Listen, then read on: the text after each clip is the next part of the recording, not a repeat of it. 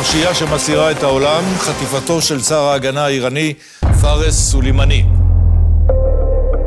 К сожалению, подозреваемые смогли избежать ареста и покинуть страну. השתמשו בדרכונים של אזרחים ישראלים. וואי, הדרכון שלי. ואני? מה זה אבא? יש עוד משהו שאתה רוצה לספר לנו? מה זה? מה זה צריך להיות?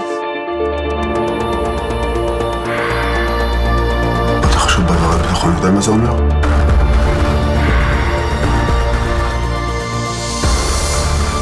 לא, לא, לא חטפתי אף אחד! לא נתתי שום דרכון, לא עשיתי שום דבר! כפולים, סדרה חדשה, חמישי,